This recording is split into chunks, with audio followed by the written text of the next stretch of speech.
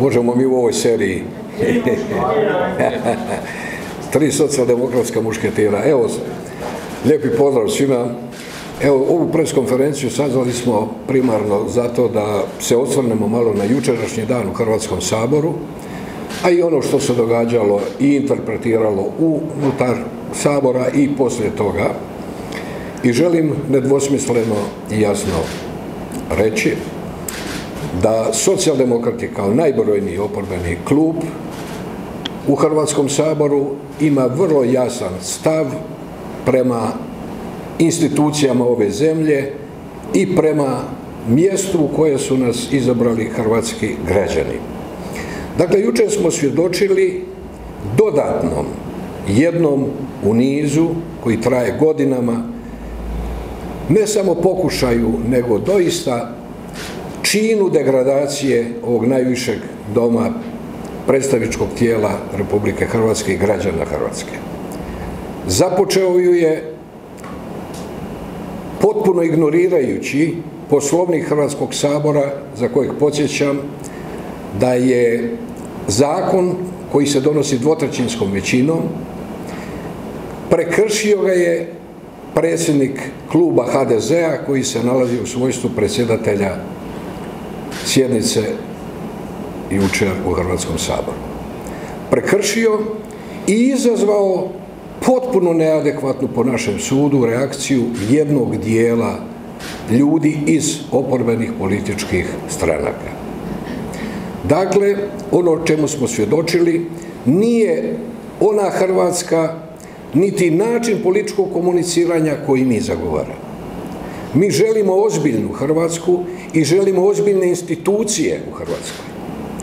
Mi želimo da Hrvatski sabor bude mjesto u kojem se doista razgovara, a frustracije, nezadovoljstva da se rješavaju u politički artikuliranim i argumentiranim raspravama. Zato nismo i ne možemo podržati, iako nije nelegitiman, način iskazivanja oporbenog nezadovoljstva kao što smo imali prilike vidjeti jučer od naših kolega. Još manje nam je bilo simpatično vidjeti na kraju te rasprave deset ili pet minutni aplauz, ustajanje predsjedniku, velika nelagoda, neko bi rekao, i sličnost sa nekim režimima i nekim zemljama s kojima se mi ne bismo rado uspoređivali. Dakle, sve ovo jučer bila zapravo degradacija, to je bio korak nazad prema onome što bi trebali demonstrirati kao političari, kao odgovorni ljudi. To je bio korak više ka snizavanju rejtinga i ove institucije i politike i smisla bavljanja ovim poslom i mi u tome nismo htjeli sudjelovati, niti ćemo sudjelovati na bilo koji drugi način. Evo to je ono što je naš jasan stav i mi se dakle u tome nećemo dati ometati, unatoč pokušajima nekih pojedinaca da sebe proglašavaju oporbom i proglašavaju nerazlikovanje, što bi rekao predsjednik Milanović, ulice i sabora, autentičnim predstavnicima oporbe zato što su oni lupali od onih koji lupali nisu. Oporbenjaštvo se ne pokazuje na ovakav način,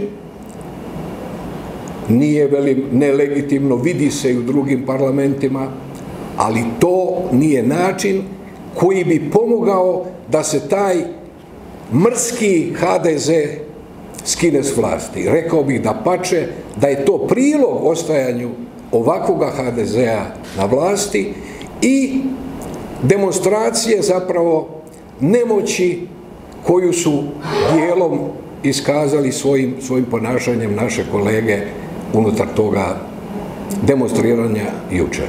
Evo, to je ono što, što bismo vam poručili. Imate li vi kolege?